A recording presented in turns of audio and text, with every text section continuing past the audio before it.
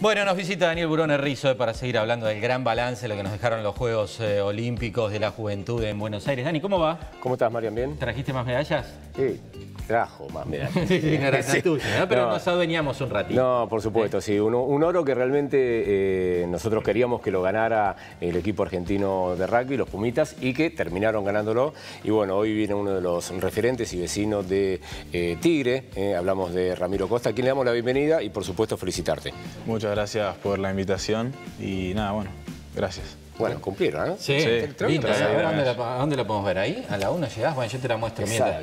Pero contanos, digo, las primeras sensaciones. Esta que ya está, esta queda para toda la vida, esta es... Sí, esa la tengo, nos dieron una cajita y la tengo ahí guardada. Sí. Ajá. Bueno, sabés- gracias por traerla, ¿no? Porque no Sí, debe claro. salir a ningún lado, hay que cuidarla. Sí, sí. Hermosa. es lo que nos dicen algunos... Muy linda, ¿eh? Muy, muy linda. No había visto ninguna. Vos sabés que algunos deportistas nos dicen, eh, ¿tengo que llevarla? No, no. Si Ah, querés, no la traes, pero. Porque a veces tienen miedo, ¿viste? Que Sí, sí. la perdés y es irrepetible. ¿No? sí. Eh, habíamos hablado con él una semana antes de comenzar los juegos y le habíamos preguntado a ver cómo, qué posibilidades tenían. Y él nos decía, bueno, hay que ir paso a paso. Pero se tenía mucha confianza, ¿no? Sí, sí, sabíamos eh, el día de hacer un torneo exigente y, y nada, nos preparamos muy bien. De hecho, después vamos a estar viendo los resultados, Sí. pero ganaron de punta a punta todos los partidos. Sí, no, eh, el, el primer día era, me parece, cuando más nervios teníamos porque no sabíamos con qué nos íbamos a encontrar.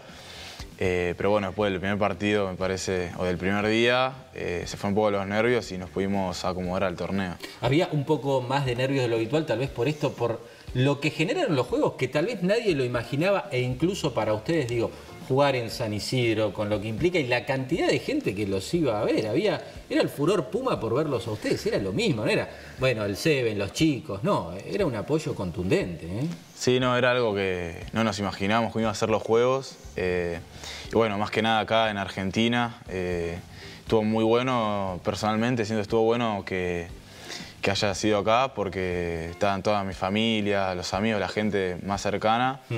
Y nada, eso lo hizo también muy especial y nada, un torneo único. Sí, ¿Y generaba un poquito más de nervios, de ansiedad, tener toda esa gente en las tribunas? Para mí generaba como, sí, generaba algo, no sé bien cómo explicarte, pero generaba un plus, algo que tenías que ver un poquito más. Eh, Eso yo en algún momento lo dije, digo, para los chicos también debe ser tanto respaldo para Sí. ellos y tantas disciplinas eh, que, que les fue tan bien, digo, te generaba un extra de decir, bueno, no puedo fallar todo este apoyo que recibo, ¿no?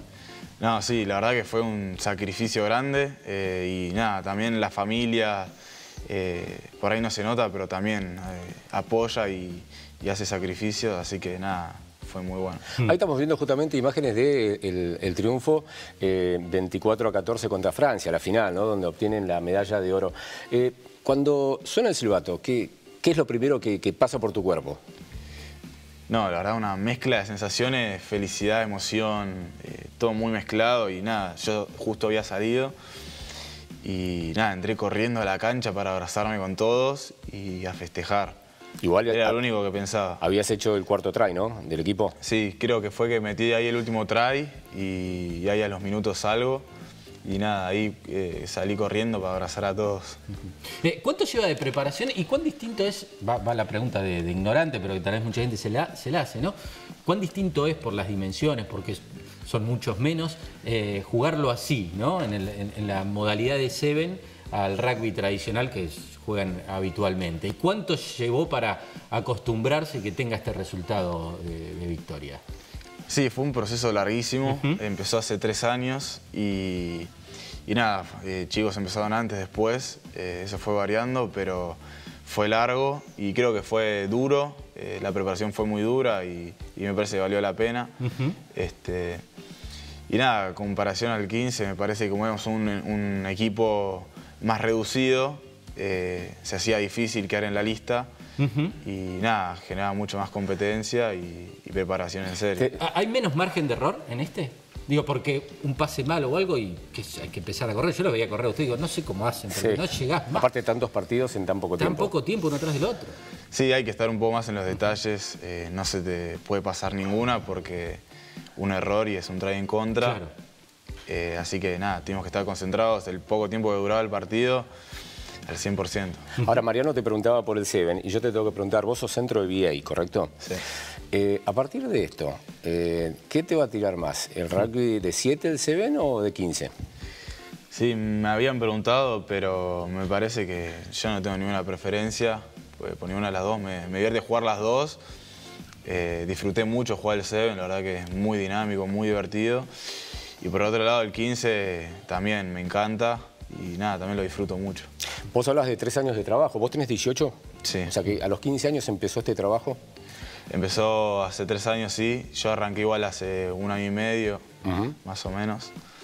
Eh, y nada, pero como te dije, algunos chicos empezaron al principio y llegaron al final y nada, y otros fueron quedando en el camino. ¿Te parece, Mariano, que repasemos un poquito cómo Dale. fue el camino hacia la Sí, medalla sí, de sí. oro? eh? ¿Cómo fueron ganando los primeros partidos que tienen que ver con la ronda de grupo, que terminó el mismo día que ganan la medalla, por la mañana con Estados Unidos y posteriormente la final con Francia? Vamos a compartirlo. Dale. Ahí tenemos, ¿eh? en placas, eh, los resultados. Increíble. Eh, El primer partido, Samoa. Uno dice, Samoa es potencia. ¿eh? Es más, me estaba diciendo fuera de cámara que Samoa dejó afuera a Australia. O sea, Australia no clasificó porque Samoa le ganó. Sin embargo, Argentina le hizo 50 tantos, 57. Segunda presentación contra Japón, 45 a 0, otra goleada. Tercer partido, acá es el que vos decías, Mariano, que realmente fue Sí. picante. Un 29 a 12 contra Francia. Picante, pero lo digo bien, con espíritu olímpico, ¿eh? porque fue noble claro. al final, hubo alguna jugada polémica, pero los Pumas se comportaron muy bien. Se ¿eh? comportaron. Lo comportaron muy bien. Después venía... Daba- yo daba para pudrir la mano, pero ellos eh, la bancaron, pusieron autoridad y dijeron hasta acá llegamos. Vos sos de separar, ¿no? Sí, soy, soy más de separar, no. Si, si está muy picante, ahí. Bueno, no hay otra. No hay otra, pero si no, trato de separar y calmar un poco las cosas. Y los dos últimos resultados, bueno, contra Sudáfrica, siempre también otra de las potencias. Eh, en este caso, bueno, se le ganó cómodamente 34 a 5, partido que yo pude ver.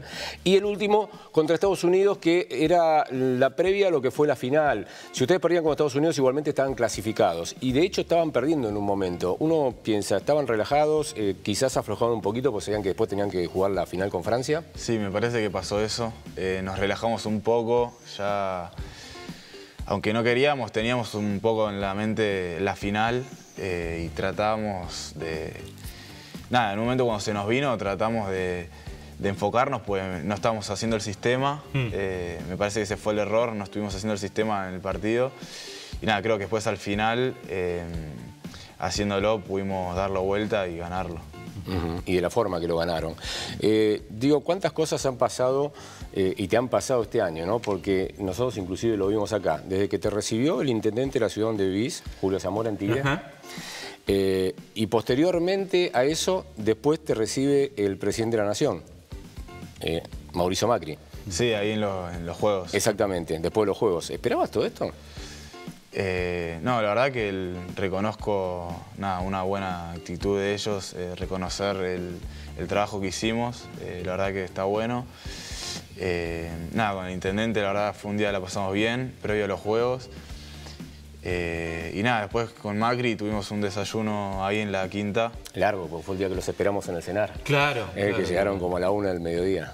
¿Y, y cómo es esto de participar en un juego olímpico? Digo, porque tiene un espíritu distinto que a cualquier otro torneo, ¿no? Tiene eh, su cuestión especial eh, el juego olímpico. Sí, está bueno, pues convivís, eh, a diferencia de otros, otras competencias, convivís con todos los, los deportistas y nada, convivís ahí, puedes hablar eh, y nada, tenés actividades también. Nosotros al principio jugamos mucho al fútbol tenis, que había una canchita y, nada, la pasamos bárbaro.